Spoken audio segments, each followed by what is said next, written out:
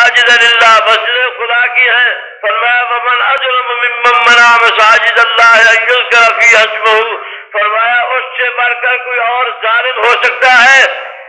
اللہ کی مخلوق میں جو سب سے بڑا ظالم ظلم اس میں تفصیل کا چیزا ہے۔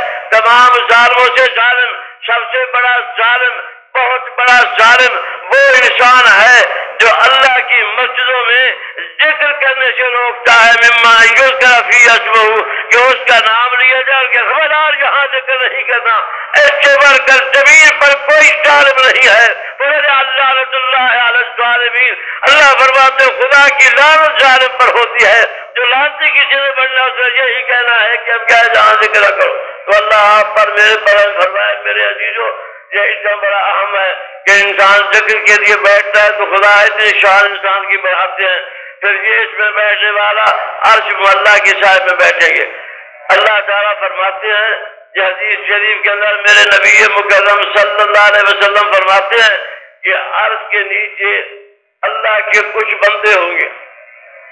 وہ آپس میں ایسے بیٹھے ہوں گے، نہ خوف ہے، نہ غم ہے، نہ فکر ہے، نہ یہ فکر ہے کہ میرے آواز نامے نہ